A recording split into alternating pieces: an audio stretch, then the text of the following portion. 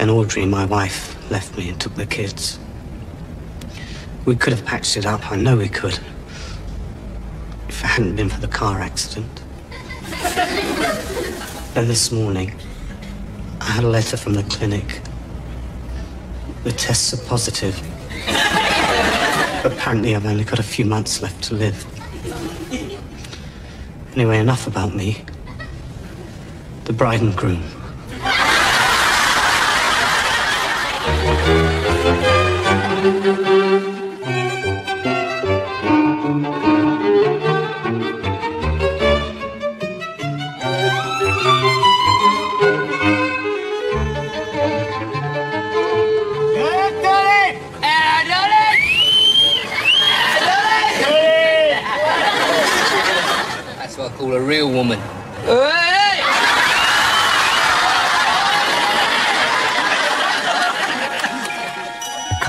Tomorrow. Built for today. Mitsutoshi unveiled. The snail. Design breakthrough on wheels. The snail goes nowhere. Fast. Powerless engine drives automatic rocker arm. Two-speed wipers for maximum vision. Magnetic chest while away the hours. Padded support pillars cushion your despair. All this, plus a revolutionary time-killing concept in motoring technology. The Mitsutoshi Bonsai Garden. And when nature calls, the snail has the answer. The snail. It's the car for you and everybody else. The snail. It's the crap car of the 90s. Come on. You're not to blame. Alex, Helen, I've only just heard. So what happened? It's David. He's had a terrible road accident in town. Yes, there are some terrible roads in town.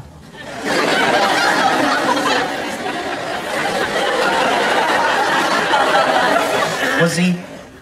Was he wearing clean underwear? Come on, it's not your fault.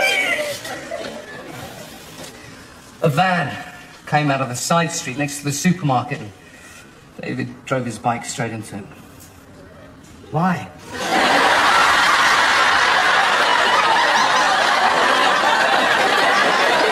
Why what? Why did he drive his bike into the supermarket? He didn't drive it into the supermarket, he drove it into the van. Oh,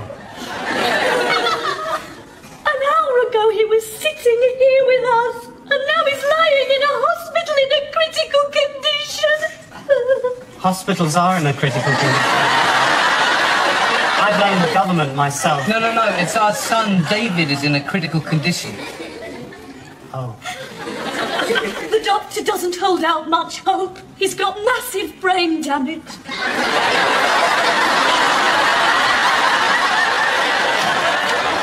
and he's still working as a doctor.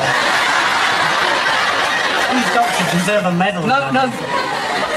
David has got massive brain damage. Not the doctor.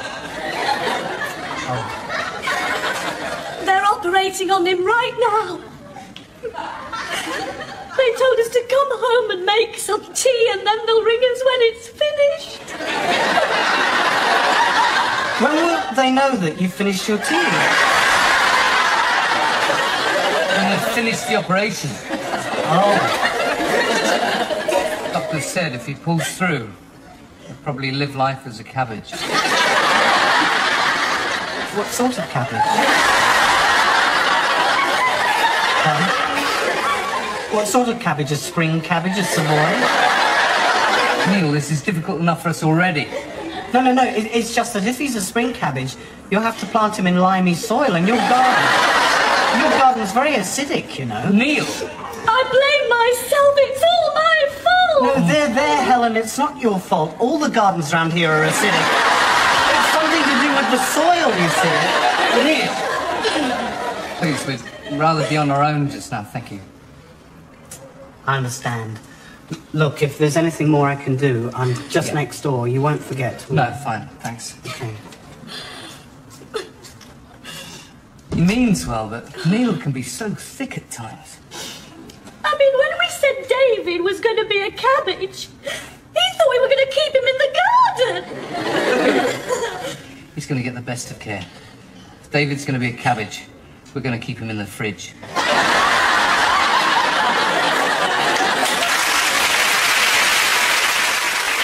We told you that Dan Quayle is a member of Mensa, we wouldn't be telling the whole truth. We said that Jason Donovan could sing. You'd find it hard to believe. But you know we're telling the truth when we say that Carlsberg is probably the finest lager in the world.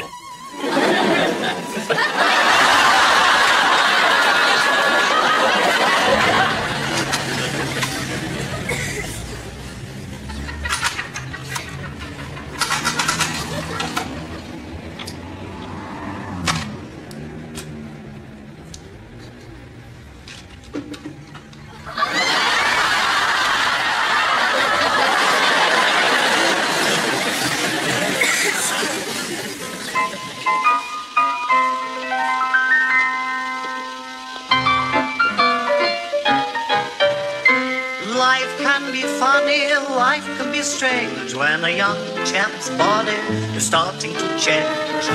Do you remember when you were 13?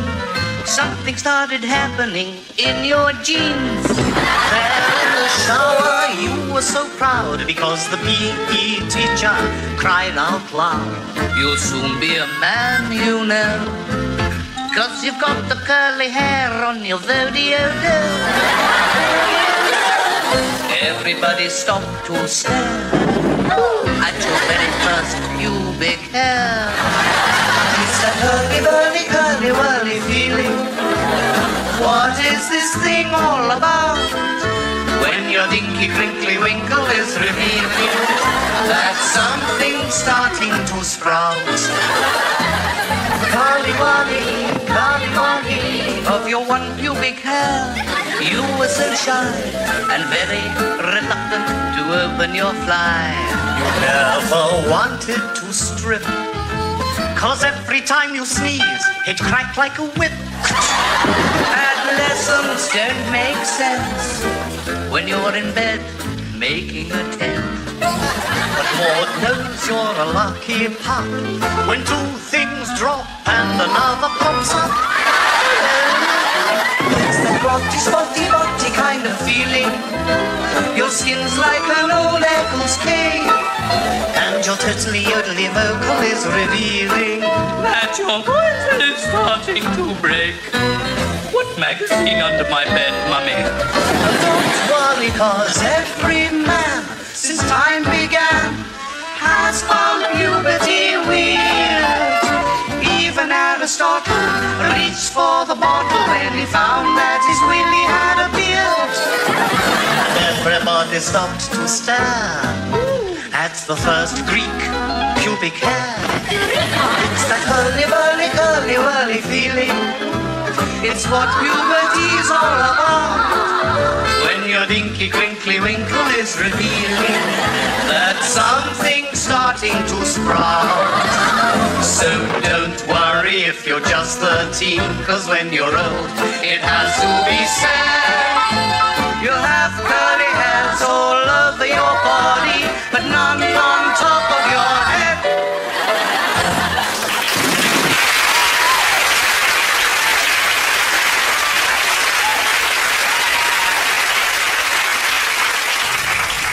game of cricket at the East Malden Cricket Club. A typical game of cricket you can watch on any village green. Typical, that is, apart from one aspect. In this match, East Malden don't use cricket balls. Instead, they use live frogs.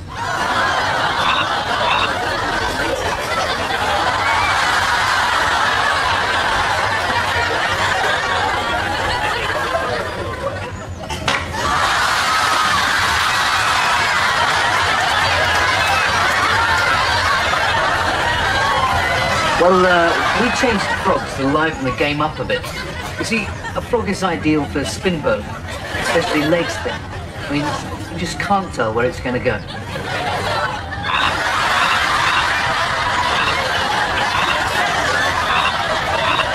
And it poses similar problems for the field.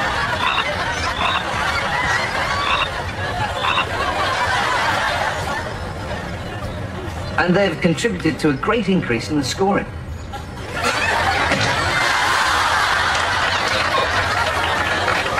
The only problem when using frogs is the variable quality. Some of them just aren't up to it. Go frog!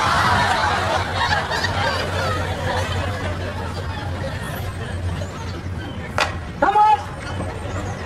Come on. How's that? Match over. The sound of Frog on Willow has abated, and the players retire to the confines of their social club. The RSPCA complain and say it's not cricket. Well, neither neither's this, but it's bloody good fun.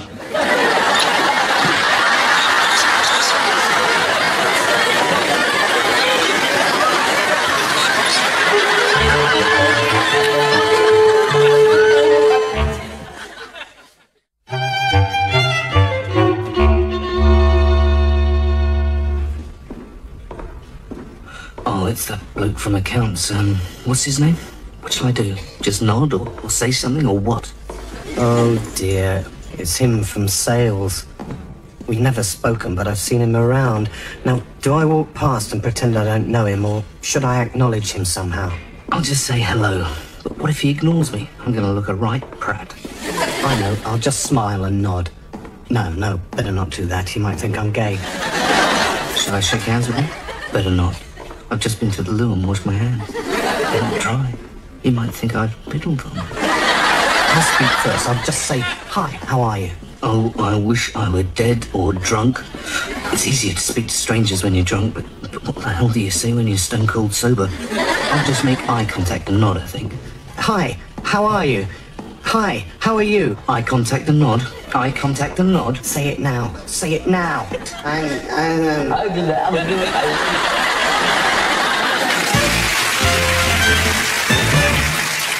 So, the Chancellor's latest mini budget. Lots in this speech for everybody, some good, some bad. So, to find out how this affects us all, let's go over to Gareth. Gareth, a 5p drop in the basic rate of income tax. How does this affect the average family? Well, let's have a little look, shall we? Righto. Average family, two children still at school, a dog, a car. Well, they're a staggering £1.23 pence a week better off. And what about the uh, not so average family?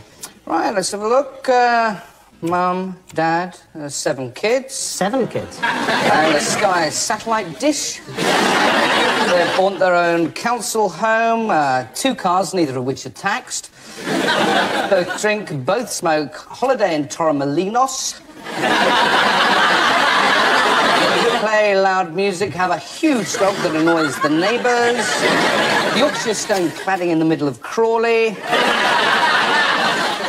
And Dad constantly shouting things like, Raymond, get back in this house or I'll tan your ass. well, they are 87 pence a week worse off. Mind you, I don't suppose they give a damn, do they? What about the um, single man's allowance? Right, okay. Let's have a look. See, a single man. Right. No kids, no mortgage, no ties. Good job, flash car. Nice clothes, goes out every night. Drinks, smokes, has a really good time. String of girlfriends. And is he any better off? Of course he is the lucky sod. Now, the uh, Chancellor has uh, come down quite heavily on perks, the sort of things we can claim or can't claim against tax. Where does this leave the self-employed? Okay, man, 30 to 40 years of age, recently divorced, fairly high income, alcohol problem, smokes too much, he's getting a bit tubby, mutton dressed as lamb, can't get it up anymore, combs his hair over his bald patch, thinks all the girls in the office fancy him, in fact, they call him the slug, occasionally wears women's underwear. Well, good news. Norman, you're five pounds a week better off.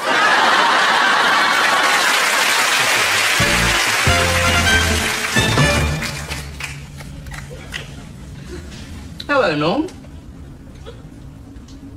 Hello, Norman.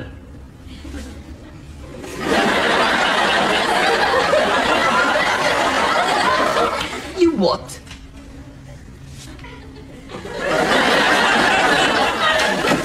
Norman, you're not still in the mood over what I said to you at rehearsals, are you? Well, look, it's absolutely true. Occasionally you stumble over your words as if you were dyslexic.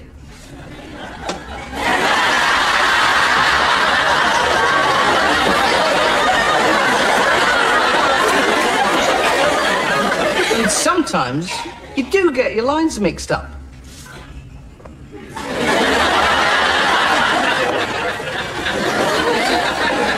By the way, has it stopped raining?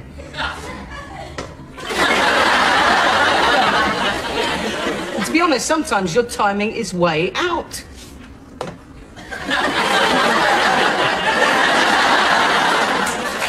and half the time you're looking at the wrong camera.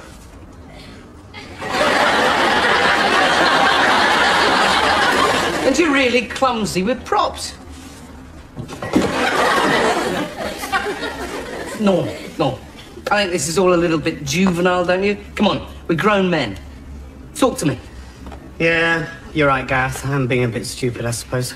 Yeah, I mean, it's, it's ridiculous, ridiculous and childish. Yeah, I suppose we ought to be able to criticise each other without falling out. Hmm? Yeah, absolutely. I mean, after all, you're not exactly brilliant yourself, are you? I mean, you're terrible at remembering your lines. I mean, you're terrible at remembering your lines.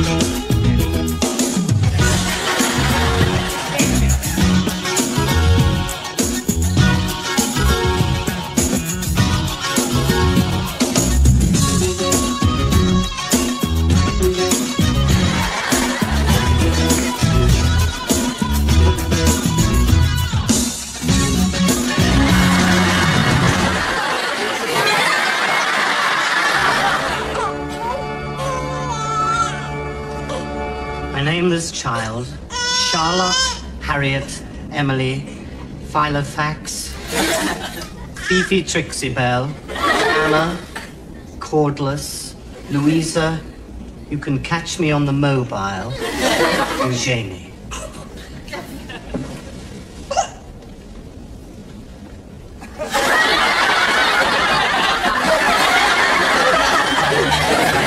Me and Jen just been to the Nelson Mandela concert and it cost us 50 quid for the ticket. Yeah, 50 quid a ticket. That bloke wants looking up. Ah, Nigel, Helen. Hello. Welcome to Sweden. I hope you'll be happy during your stay with us. Thank you, Lottie. Uh, please be coming in. Jan is in the living room.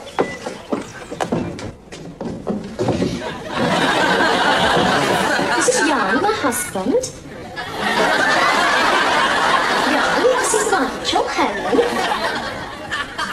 Hello, my friends. Welcome to the first leg of the exchange. That's a nice painting. At least you made it okay. The roads in Sweden can be how you say. A right bugger. Yes. Okay. You like the painting? It is Lottie. She's the artist of the family. It's very clever. Oh, yes, I'm very good at the ceramics. Look at the handle on this. It's very nice. But like all artists, she can be a little crazy, you know? Jan, I think you embarrass our guests. I'm sorry. Now tell me, have you noticed any major differences between Sweden and England? And the roads are a lot bigger. Wider. Wider.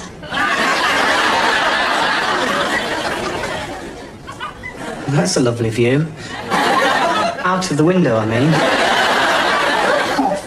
Yes, we are very lucky here.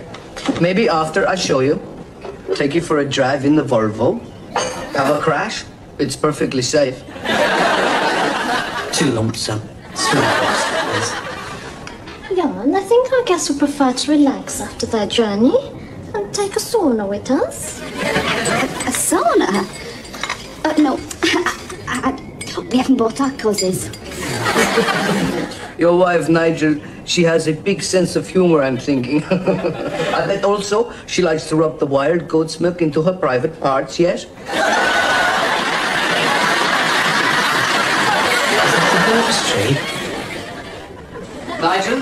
Do you and Helen ever live out each other's sexual fantasies? Personally, I like the dress in Moses clothing. Makes me feel so good, so sexy. How about you? Members of our local amateur dramatic society.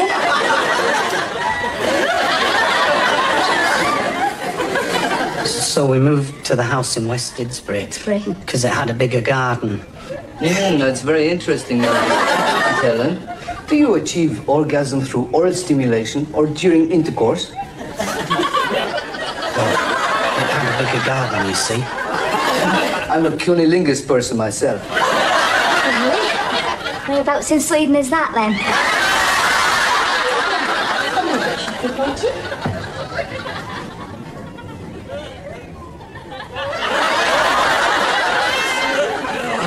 Nowadays, my erections are so strong, so powerful.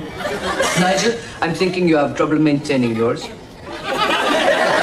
Don't worry, I have something in the fridge which may help. Well, I've had enough of this. So, uh, shall we go? Yes. Oh my God, it's true what they say about the Swedes. They're they're so they're so boring.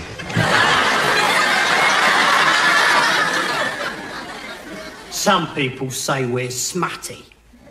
I don't like being called smutty. And I don't like being called sweet.